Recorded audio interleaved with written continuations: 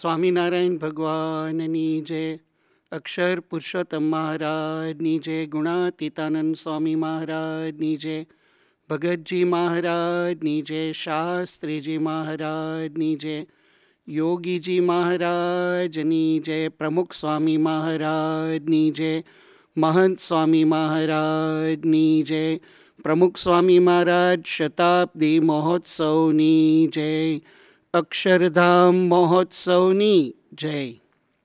In Hawaii, there's a, a zoo where people go to visit uh, when they go on holidays, vacation, especially during the time when uh, a lot of people want to travel.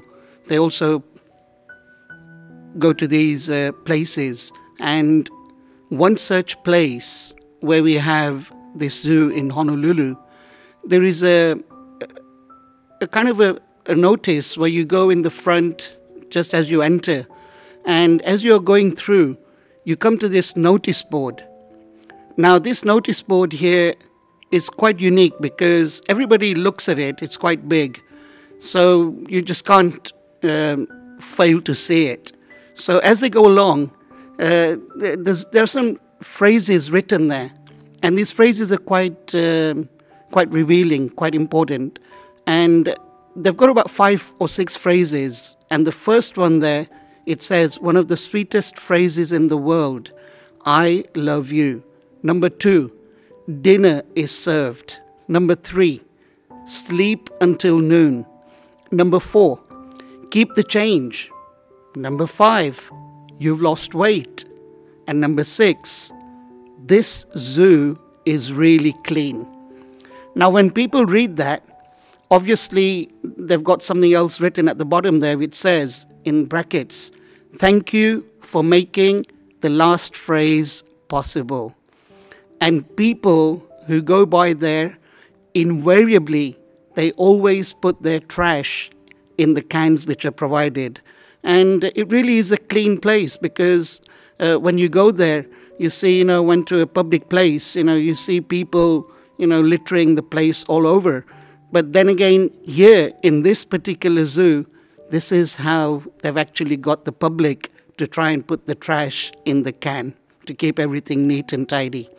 And it works because the words that they've uh, actually, uh, you know, the words are registered in their minds. And uh, when they are fully engrossed in reading those words, and when they come right to the end, it tells them to do something because these words have a positive effect on our minds. And the way we think, the way we do things, it makes us do things to the extent that it even changes our behavior. Because somebody has aptly written that if you sow a thought, you reap an action. If you sow an action, you reap a habit. And if you sow a habit, you reap a character. And finally, it says if you sow a character, you reap a destiny. So, uh, like they say, that it's all in the mind, everything starts with that little thought, that thinking power. So, it's all mind over matter. And if we feed our mind with positive thoughts, with things that gives us motivation, inspiration, then obviously we will be able to do things in the right way. We'll have personal joy, happiness, and unlimited bliss. But if we nourish that mind in the wrong way, in the sense that if we just fill it with negative thoughts, negative ideas, then uh, all, our whole thinking, the world that will be created in front of us, outside of us, will be all negative. So the idea is to nourish and nurture the mind in such a way that we nourish it with pure, sublime, and positive thoughts. And one of the the things about uh, you know doing positive things, it's all about Yogiji Maharaj.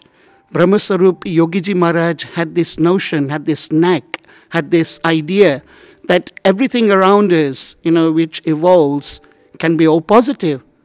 Even if we are going through a difficult spell, even if we are going through some problems, stress, depression, whatever it is which is affecting our performance in our life, But if we do the things in the right way, that if we do, you know, things in the proper way, positively, then we can create a better world around us.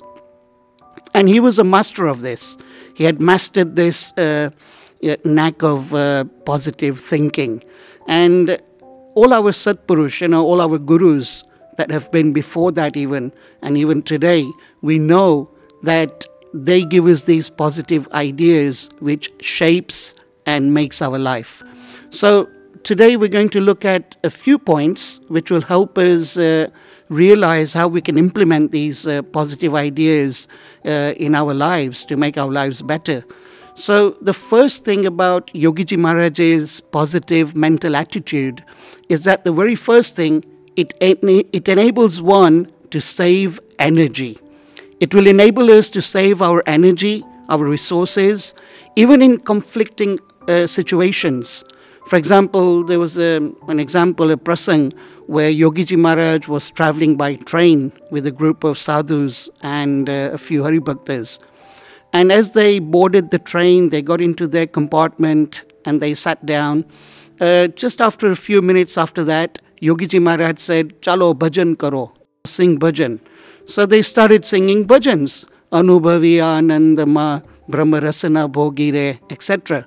And as the journey carried on, uh, this uh, array of bhajans, you know, one after the other, started singing, and Yogi Bapa was so engrossed in it. So after about uh, 30 minutes of the journey, there was a group of uh, youths who were also traveling uh, on the train. And uh, obviously, they were not from a satsang background. And they were kind of, you know, in, in their, you know, youthful mood. They were playing a game of cards. You know, they were shouting and laughing and having, you know, lots of fun. But then, you know, one of them turned around and he said to the, our group, you know, Yogiji Maharaj's group, that, hey, you Babas, you Swamis, you know, we don't want you to sing so loud. So don't disturb us. You're disturbing our game of cards. And we're getting all, you know, disturbed here because of what you're doing. So don't sing so loud. And uh, as soon as this, uh, you know, these words came round, Yogiji Maharaj said, okay, doesn't matter, stop singing, let's do bhajan in our minds. Because to him, to do bhajan was the, the ultimate thing. Whether you sang or whether you did smruti in your mind, it didn't matter to him. So everybody sat down there again, and you know, instead of singing aloud, they were just kind of doing smruti and they were, you know, uh, talking softly amongst themselves. But you know, in a situation like this, where creates conflict. You know, there could be somebody there who could go up to the youths and say, "Hey, what do you think? You know, you know, it's not your train. We can do what we want." This and that. You know, they get into an uh, agitative, aggressive mood, and you know, everything could get all upset there. But then again, the journey continued, you know, peacefully. There was nothing that Yogiji Maharaj, you know, was disturbed or anything. So when the journey finished, and as they were coming off the train, uh, they realized that, you know, Yogiji Maharaj was going along his way, and these youths were actually now, you know, they were actually shouting and they were trying to defend themselves with the ticket collector and the station master, and everybody had gathered together. And actually, what had happened, in short, was that these youths who were traveling they had forgotten to get off at the station where they were supposed to get off because that's the ticket or that's the money that they had paid, that, that's the fare that they had paid. Now, unfortunately, having missed their you know, destination, they carried on with the journey and they got off at a place which was not their destination, not their station, and they had to end up paying the you know the change in the fare, or rather the uh, whatever the fare was, and it was much more than what they had to pay before. So the you know the uh, officers and all the other people, you know, they were arguing with these you know uh, youths that you know you need to give us this money and this and that, and there was some agitation. So one of our Haribhaktas found out, and uh, as he was coming by, uh, you know, walking uh, to the cars where Yogiji Maharaj was going to be, you know, picked up at the at the platform. He said, um, "Bapa, something really uh, unique happened today." And uh, Yogi Bapa said, "Why? What happened?" He said, "You know, the, those youths who told us that you know you shouldn't be uh, singing loud and you shouldn't be doing this and that. Now they have to pay a price." And Yogi Bapa said, uh, what, what do you mean? What, what are you trying to say? He said, Bapa, they have to pay an extra fare because look, you know, they were supposed to get off before us and they carried on, you know, up to here and now they have to pay more money and it's cost them. Yogi Bapa said, doesn't matter, you know, we'll do pratna to Bhagwan that everything, you know, resolves. He said, no, no, no, Bapa. He said, you know, they stopped us from doing bhajan, so this is what they deserve. And this is exactly what they deserve, so, you know, they shouldn't have stopped us from doing this. Yogi Bapa said, no, but don't speak like that, you know, we, we, we don't think like that. And he said, why not, Bapa? Because, you know, they actually, it wasn't our fault and they stopped us. So it's, you know, fit and right that they have to suffer now. Bapa said, no, no, no, no, no. He said, we have to pray and we have to become like them. And everybody said, What do you mean become like them? Bapa said, We have to look at the positive aspect that, look, you know, we should also be so engrossed in bhajan, in satsang, in doing our devotion, that we should forget the world like they had forgotten their, you know, world. And that's why they were so engrossed in their game of cards that they had to come all the way here. So we should take a leaf from their life and we should also be engrossed in our bhajan instead of blaming them or instead of, you know, instead of, uh, you know, looking at them in a bad way. Because whatever has happened has happened and now we have to learn from there.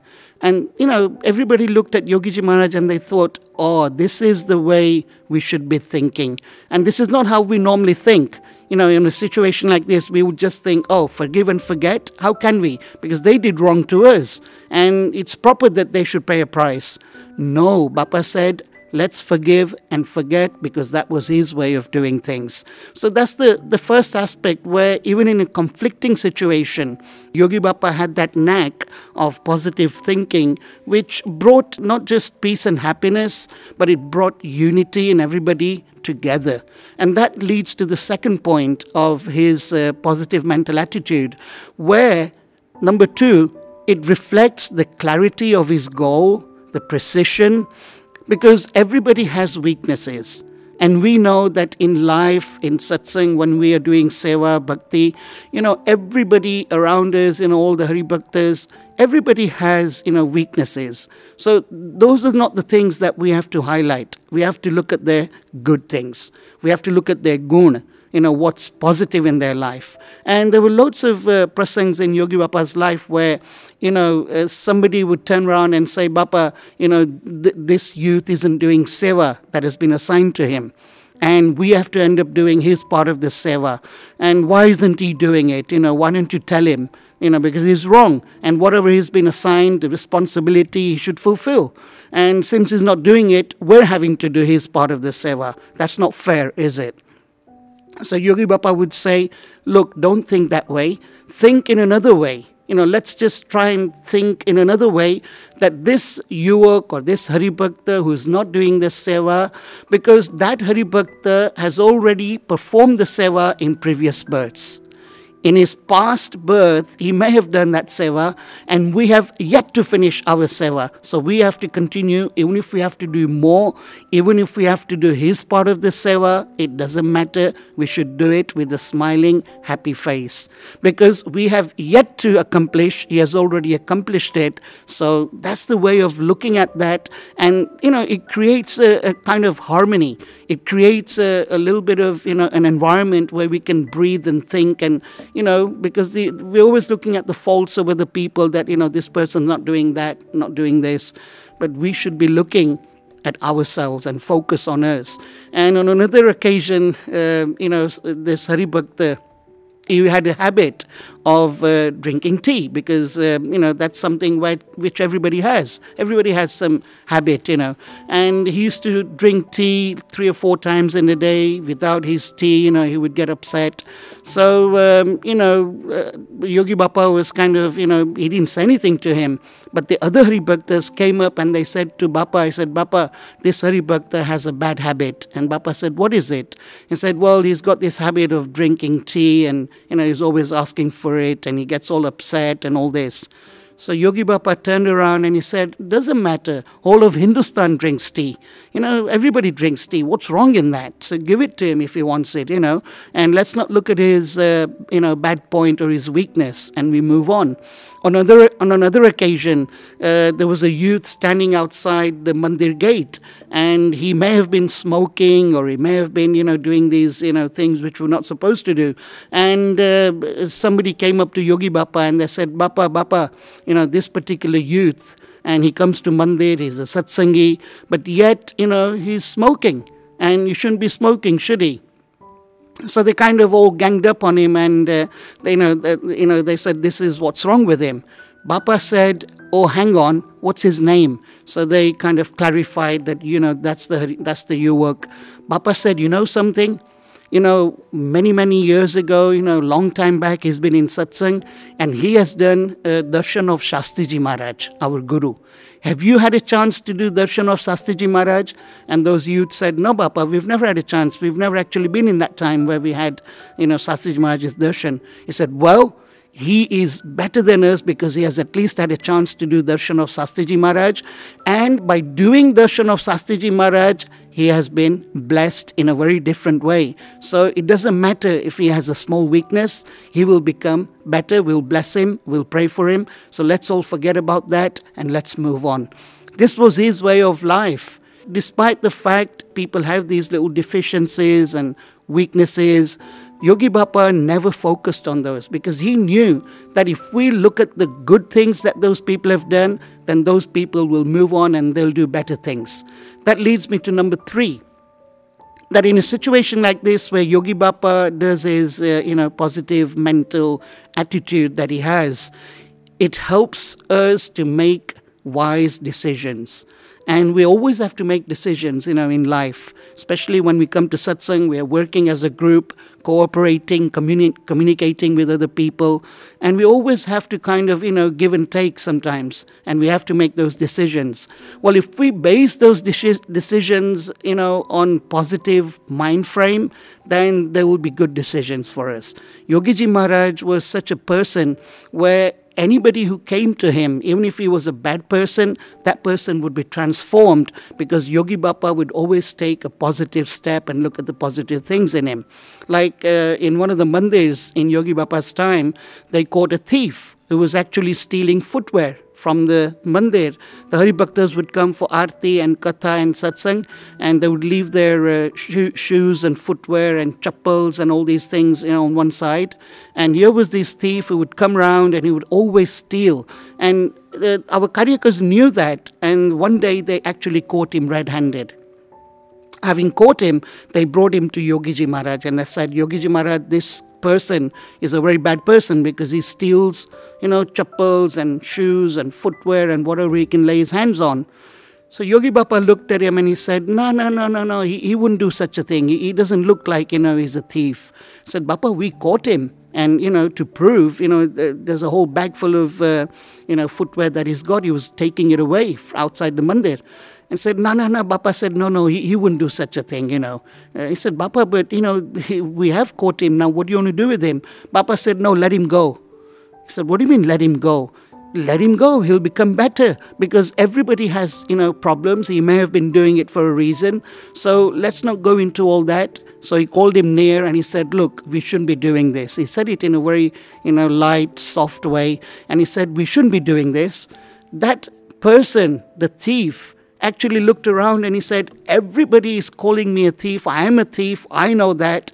But here is a person who's refusing to say that I am a thief. Now, what kind of a mentality is that? What kind of a person is that? And he looked at Yogi Bapa's eyes and he said, Bapa, I'm very sorry. I've made so many mistakes in life. Please bless me. Please pray for me that I become better. I don't want to steal anything ever in my life. That person has transformed into a satsangi today. So look at the power of this mental attitude, this positive mental attitude that Yogi Bapa possessed, that it can actually transform a person. And number four, as we go on to the fourth point, that it saves you from anger and blame. Because in many situations like these, you know, when something doesn't go right, you know, we look around and we blame the situation, we blame the circumstances, sometimes we blame the people because you know that's the way we are because we never want to take you know ownership and responsibility for our own faults and what has gone wrong. We always want to blame other people and you know uh, take our anger out on these things but yogi bapa always taught us that if you keep a positive mind frame then you don't have to blame anyone you don't have to even you know be angry about anything like for example small examples in his life like, uh, you know, they had given him some sleeping medicine, some sleeping pills, because he wasn't able to sleep. So the doctors advised that, look, for some time we'll have to give these, uh, you know, uh, these pills to Yogi Bapa. So they gave him the, the sleeping tablets and he took them. But in the morning, you know, as uh, the doctor came to Yogi Bapa, he said, Bapa, how do you feel? He said, I feel okay. And he said, uh, how was the medicine? Did you get, did you manage to sleep last night? Bapa said, no, I don't think I did. I mean, I was awake most of the time. He said, then this medicine is not right. You know, it doesn't work. And, uh, you know, it started, everybody started looking around and blaming the, not the doctor, but the medicine, saying that it didn't work and we should do something. Bapa said, no, stop blaming the medicine. The medicine was okay, but it helped us to do bhajan all night by staying awake. Doesn't matter. You know, I'm happy. And on many occasions, you know, in those days, because, you know, of mosquitoes and bedbugs and everything else which was there, which was disturbing Yogi Bapa's sleep, and it would disturb us as well. And uh, one day, you know, somebody said to Yogi Bapa, especially in Gondal, said, Bapa, here in Gondal, there are so many mosquitoes and, you know, it's not letting us sleep and there are bed bugs and this, that, and that. Everybody started, you know, uh, blaming and started, you know, pointing at faults and all these other things. Yogi Bapa said, no, no, no, no, no, don't say that. Because if we stay awake by these things, you know, they don't let us sleep, sleep, then it doesn't matter because you know we'll be able to sleep in the in the future anyway. It's not that you know it's going to be always like that.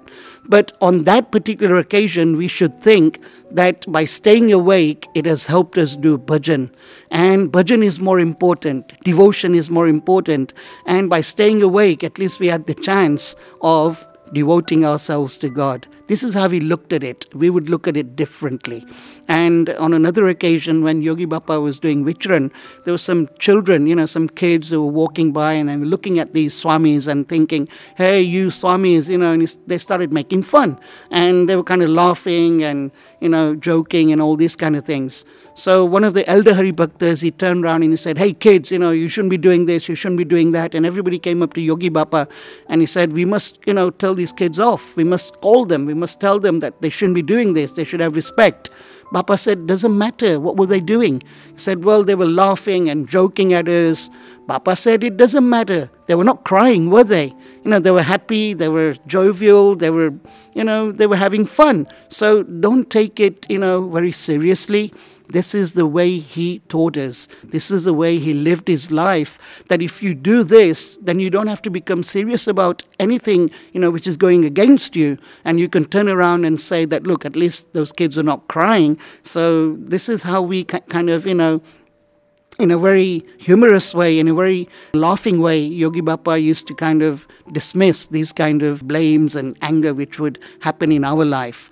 And uh, last but not least, you know, one of the greatest things that, you know, Yogi Bapa taught us from his positive uh, mental attitude was that it helps the person, it helps us to become better people, better satsangis, better karyakars. And, uh, you know, we continue to work hard in this situation. So instead of blaming the situation or the object or anybody else, you know, let's take the onus on us and let's try to improve ourselves. Like, for example, on one occasion when they gave a little, uh, you know, fountain pen to Yogi Bapa, and I said, Bapa, you use this fountain pen, pen to write letters, you know, like you're writing letters to everyone. And Yogi Bapa, you know, he had never used a fountain pen, so he was using it. And every time he kind of pressed hard, it kind of ripped the paper, and all the ink and everything started going on the blotting on the paper and everything, and it was all kind of messed up. So they said, Bapa, you know, this pen is no good, and this pen is so bad, we shouldn't be using it. Bapa said, No, no, no, the pen is good. It's perfect. It's just that we don't know how to use it. We don't know how to use it in the right way. It is our fault for not using it properly, so we must improve these are the little, you know, things that Yogiji Maharaj taught us. And the Satpurush takes us that way. The Satpurush wants us to go in a positive way, in a positive mind frame. Because when we look around in satsang, you know, there are so many things that actually, you know, which may be going wrong, or there could be faults with people. You know, there could be some things that we don't like, some things that goes against us. But in that situation, like Yogiji Maharaj and like Pramukh Swami Maharaj and today, like Mahant Swami Maharaj, we should learn the right things, we should learn the positive things. A positive mental attitudes, attitude keeps us blissful, keeps us happy, jovial, and our satsang becomes all the more worthwhile. So let us pray to Maharaj and Swami to give us that strength, that inspiration, that motivation to think in a positive way, just like Yogiji Maharaj used to do. Thank you. જય Narayan.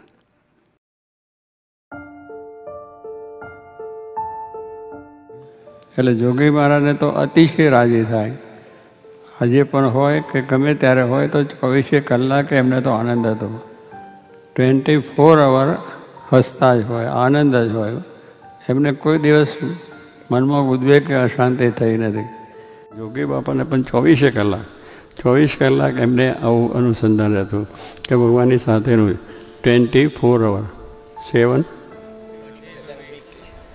અને પછી thirty, sixty, સેવન. એટલું દરરોજ એટલે આખું વરસ થવું પડે આખું વરસ આપણે કરવાનું છે. હવે એ કેમ થાય એમ કહે છે. પણ થાય. કરી બધો હે. ટ્વેન્ટી ફોર અવર પછી સેવન અને થર્ટી થ્રી, સિક્સટી સેવન. આ તમારું બધું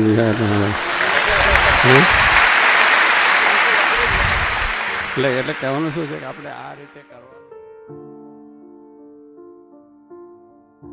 જેવા યુવકો જ્યારે સત્સંગી થાય, ભગવાનની આજ્ઞા પાડે તો એ તો બધી વધારે રાજી થતા. અને એવું એમનું હેત હતું કે આપણે ભૂલાય પણ નહીં. એ હેત કરતા. નિર્દોષ એમનું હેત હતું એમાં દોષ કોઈ નહીં પણ કેમ કરીને અમને ભગવાન મળે, ભગવાનના સુખ આવે? એવી રીતે હંમેશા કરતા. એટલે જોગી મારે તો અપાર રાજી થાય. સત્સંગમાં આપ જોડાવ આદર્શ યુવકો હોવા જોઈએ. આદર્શ સત્સંગે હોવા જોઈએ. આદર્શ સાધુ હોવા જોઈએ. આદર્શ બધા વેપારીઓ પણ આદર્શ હોવા જોઈએ. ડૉક્ટરો આદર્શ હોવા જોઈએ. વકીલો આદર્શ હોવા જોઈએ. એટલે સંસ્કારી બધું આખું વાતાવરણ થાય.